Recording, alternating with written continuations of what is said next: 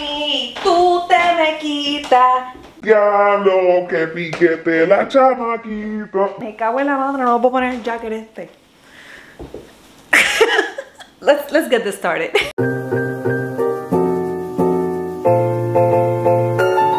Hey, Carillo, I'm Nemesis, welcome or welcome back to my channel. All right, before we get started, let's talk about the song of the New week. Do I need to say it? Do I need to say it? Do I need to say it out loud? Or do the Billboard charts speak for me? Mm, I think they do. Yeah, the song of the week is every single song in Un Verano Sin Ti by Bad Bunny. Every single one of them. Especially, especially El Apagón, Después de la Playa y Titi me preguntó. Y Ojitos Lindo.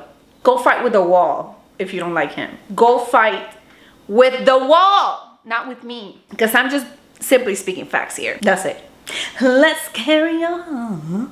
Alright, so as you saw by the title of today's video, today I'm gonna put y'all on to one of my most recent ongoing routines that I've been doing on this hair of mine that is right now in a sleek bun because it is this disgusting. I'm, I'm still wearing my gym clothes. I came straight from the gym to come film this video because I need to get this shit rejudged. It's disgusting in here. This is like seventh day hair. It's so sweaty, disgusting, greasy, all of the above. So what makes this routine a little bit different than what I've been showing on my channel previously is this routine is mostly done in the shower. I don't think I've ever shown you any in shower styling routines before. So let's give it up for this being the first one.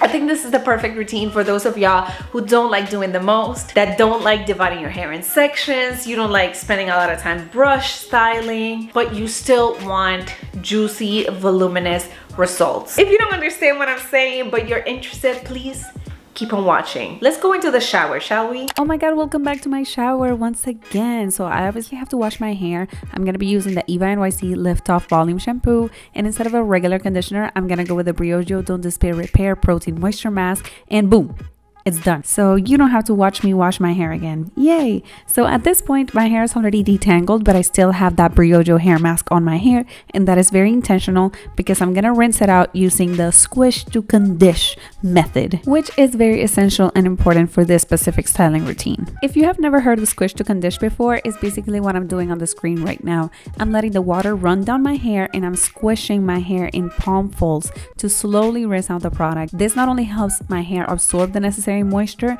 while getting rid of excess water, but it also helps with clump formation and therefore better definition right off the bat. I mean, look at those clumps already looking juicy and defined. And now let's go to the fun part, which is styling. I'm gonna be using the Rizos Curls Curl Defining Cream, slightly divide my hair in half and apply about a teaspoon and a half of product per side. I like gliding down the product first and then raking with my fingers to start separating those curl clumps. Trust me, that's so important because it'll lead to juicier, defined curls. This method works great on damp hair, but on soaking wet hair, even better. And of course, then I'm gonna repeat the same thing on the other side and then head into everybody's least favorite thing to do, brush styling. But trust me, this is like the easiest version of brush styling because your clumps should already look like this, pretty divided, pretty separated. All you have to do is brush right through them individually, one by one and it can be small clumps or bigger clumps. Just brush right through them. Just trust the processes. After doing that to your entire head of hair, all you have to do is start squishing out excess moisture and you're gonna see a boost in definition right away. I mean, look at them, they're so juicy. And the very last in shower styler is gonna be a mousse. You can choose between a mousse or a gel. I prefer mousse because I am more focused on volume for this wash day. And I'm just gonna keep gliding it down and scrunching it back up. And I mean, look, look, look, hold on, hold on, hold on. I'm gonna show it literally. See, boom. Look at this side and then look at the side without mousse it literally makes your curls bounce up so quickly. And not to mention, of course, it's gonna give your curls a little bit of hold as well. And I mean, look how juicy and defined those clumps are already looking. And now comes my absolute favorite part, which is plopping. Yay! If you've never plopped, the best way to explain it is take a microfiber towel or a cotton t-shirt and put your hair in a little self-contained mound on top of your head and then wrap it. Don't twist your hair or squish it too hard because that's gonna disrupt your pattern. I specifically love the ones that have the little button on the front because it's so much more convenient to use and you can leave it on your head for a long amount of time. Okay, hi we're out of the shower. So right after putting this on, this is completely fucking optional but I like double wrapping it with something else. Why? Few reasons. First of all, this is a little cotton cloth. I think this is from, yeah, yeah, this is definitely from Flora and Curl. I'll insert the product image right there. So it feels basically like a cotton shirt and cotton is very, very absorbent. So sometimes my hair is so, so soaking wet that when I put it on my microfiber towel, I can feel the wetness like even outside and this absorbs it so it's like double absorption i don't know if you i don't know if that makes sense but it makes sense in my head so like the drying time is even even shorter and the second reason is because since i'm gonna have this on for the next couple of hours i don't want to look like this like what if I need to step outside? I'm not stepping outside with this on. So that's why I like to use this. I'm gonna, I'm gonna show you how I use it. It's not exactly a rectangle, but it's pretty long. So I like to put the wider side right behind my head. And then I grab everything else and just twist it in the front. And like do a little ball here in the front, tie it into itself, and that's it. And I think this looks way better than just having the microfiber towel on. I don't know, like call me crazy, but this looks way better. It's a little head wrap and I love head wraps.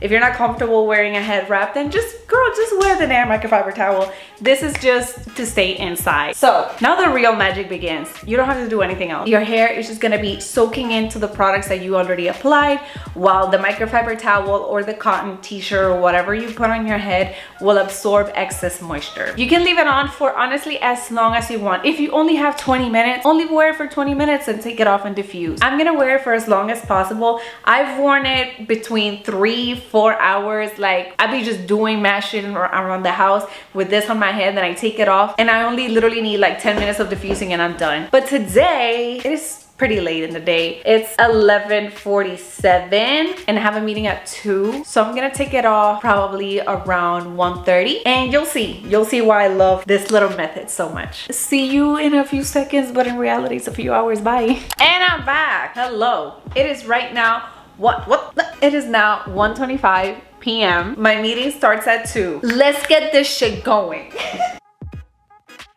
now let's take off this thing and I'm gonna take it off already like this because I know that's how my hair is gonna come out. All right, all right. Here we go. Let me give you a close-up of how my curls and my clumps are still looking. You know, you like the definition is still there. So I'm gonna flip my head, but in a very specific way. So I'm gonna start flipping it over to the side. Instead of going straight into like flipping my hair back and making a middle part. I'm gonna start doing this instead, which is like a combination of letting my hair just hang naturally and shaking my roots so that it can start falling where it needs to fall without me manipulating it too much. Careful. Careful, SpongeBob. Careful, SpongeBob. If you get that reference, if not, you're probably too young. just keep doing the same thing until the majority of your hair just starts falling naturally on the back. If there's any like um, knots or any clumps that you might need to separate in order for your hair to fall back, you can separate them, just do it very carefully. All right, now as soon as you feel like your hair can just fall like that pretty easily, now I'm gonna go with my finishing product, which is this one right here. I've spoken about this little spray from Aussie many times in my channel, but I haven't shown how I use it. Like I haven't shown it in action. So this is basically a hold spray. It's gonna add some hold, a little bit of crunchiness, so just be careful like this is something that you can just use like very little of and you're gonna spray like from 8 to 10 inches away like you're not gonna go like because that's gonna lead to fucking disaster and stickiness. And I'm gonna spray this very like sporadically around my waist and curls from my ear and down without having to really divide it in sections or anything like that.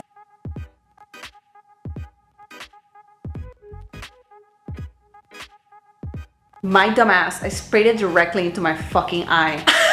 fucking dumbass. Don't do that.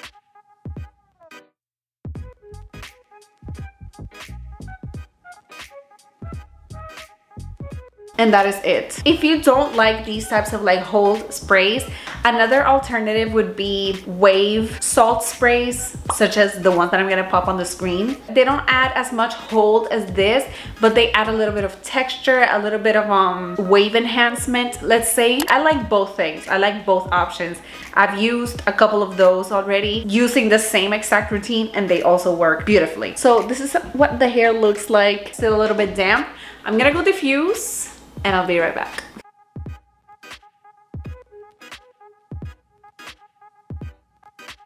And we're standing. We're standing and our hair is dry. It is now 1:48. So that was like what? I started diffusing at like 1:30. So like maybe 15 to 20 minutes have passed. And these are the incredibly voluminous results I get with this damn routine. It's not completely over yet, of course. That finishing spray that I used doesn't leave as strong of a gel cast as an actual gel would leave you, but it still leaves you like with a little bit of crunchiness that you can decide like you can definitely leave that little bit of crunchiness on your hair if you like the texture if you like how it looks and how it feels. But I'm gonna break it a little bit because I'm gonna put some oil to seal in any moisture that I have in my hair. So today I'm bringing an oldie but a goodie, the Verb Moringa and Jojoba treatment oil. It's just such a good freaking oil and I still love it. I'm still a stan of this oil just in case you, you forgot. So I'm just gonna put a couple of drops focus it on the ends just to break that little bit of a cast. See and now it's a little bit softer but the definition is still there but there's no crunchiness. That's that's what's important.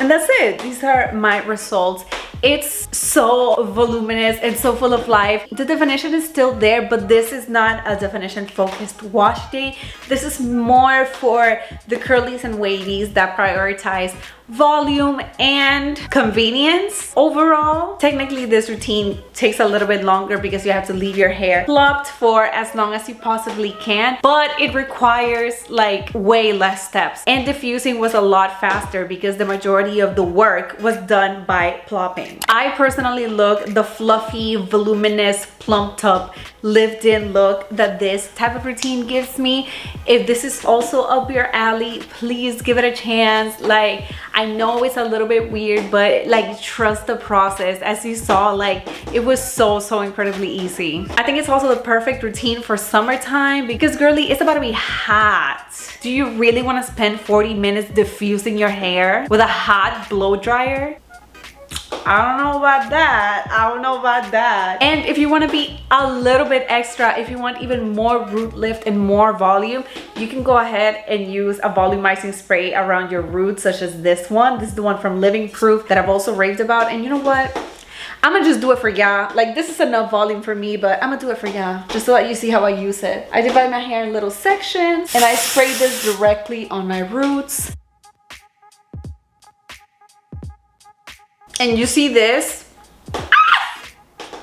I mean, this is if you want to like take it up a notch, an extra step. Okay, let, let me sit down again. And that's it. That's my whole entire routine for this glorious volume and very little effort in my opinion. What do you guys think? Did you like it? Did you hate it? Would you give it a try? Have you done this before? Have you gotten good results? Have you gotten bad results before? Like, What's the tea? Tell me down below in the comments, please. Thank you very much. I will keep on doing this routine probably all summer long. I really hope you found this um, either helpful, entertaining, or just you don't mind that it exists. Maybe that, maybe that, I don't know.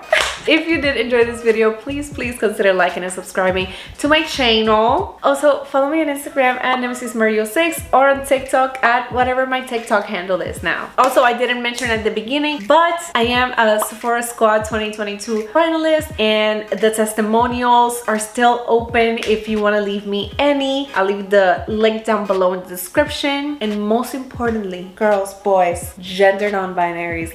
a great was our day? Bye!